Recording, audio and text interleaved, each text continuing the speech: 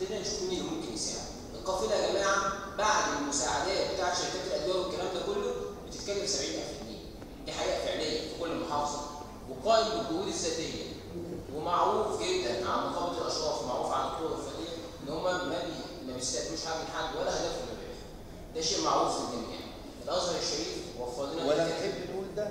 يعني إحنا بنقول إن إحنا بنتعاون في الخير فانا بس حبيت ان أنا اوضح الموضوع الأزهر الشريف مشكورا وفر لنا الدكاتره عشان عندنا عده وسيله الدكاتره شركة سيبكو مشكورا وفرت لنا الأدوية شركة عده الادويه السادة السادة بقيه المصاريف الإدارية الانتقالات والإقامة والاعاشه والكلام ده كله متكفلين بيه على الحساب الشخصي.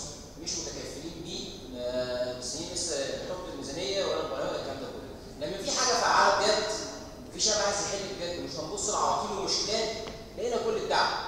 أنا ما كنتش متخيل إن سيادة النقيب وكيل اول مجلس هيكون موجود معانا النهارده. الشعب المصري ينتظر منا الكثير. ولكن هناك لازم إحنا إحنا شركاء. هناك من المشاكل كثيرة جدا محتاجة إلى الحلول منها الحلول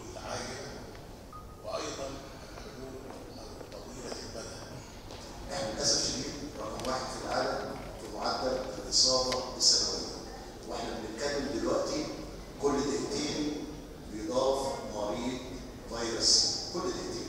حسبوها